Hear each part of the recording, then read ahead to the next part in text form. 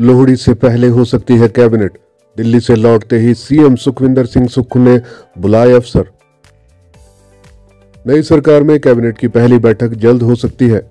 मुख्यमंत्री सुखविंदर सिंह सुक्खू ने जिस तरह से दिल्ली से लौटते ही मुख्य सचिव और सामान्य प्रशासन विभाग के प्रधान सचिव के साथ बैठक की है, उससे लग रहा है कि लोहड़ी से पहले भी बैठक संभव है। इससे पहले कैबिनेट के लिए सोमवार 16 तारीख का दिन प्रस्तावित किया गया था।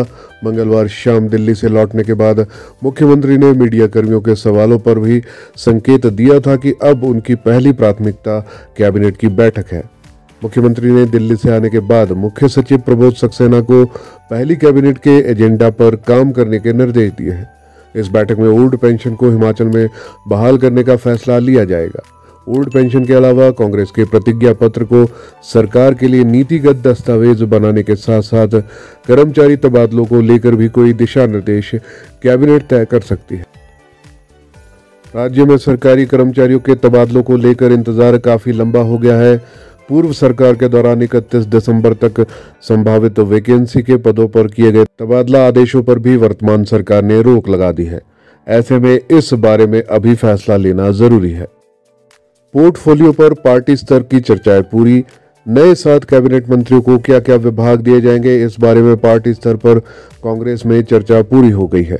मुख्यमंत्री सुखविंदर सिंह सुक्खू ने सोमवार रात दिल्ली में भी हिमाचल कांग्रेस प्रभारी राजीव शुक्ला समेत कई केंद्रीय नेताओं से इस बारे में बात कर ली है।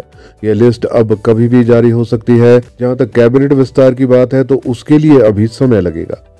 अब पीएम से मिलने का समय लेंगे सीएम। मुख्यमंत्री सुखविंदर सिंह सुक्खू कैबिनेट की बैठक करने के बाद दिल्ली जाएँगे और प्रधानमंत्री से मिलने का समय भी लेंगे। मंगलवार को दिल्ली से लौटने के बाद ये बात उन्होंने कही, इससे पहले भी मुख्यमंत्री प्रधानमंत्री से मिलने गए थे, लेकिन भारत जोड़ो यात्रा से आने के बाद प्रोटोकॉल के तहत हुए टेस्ट में वे कोरोना संक्रमित पाए गए थे। इस कारण प्रधानमंत्री से ये मुलाकात नहीं हो पाई थी।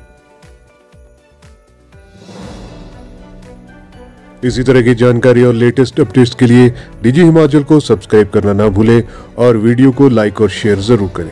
यदि आपके कोई सुझाव है या सवाल है तो हमें कमेंट सेक्शन में ज़रूर लिखें।